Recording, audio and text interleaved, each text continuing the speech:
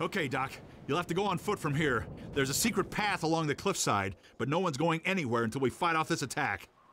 Having you here to fight alongside us is going to make a big difference for morale. Oh, crap. Here come the dropships!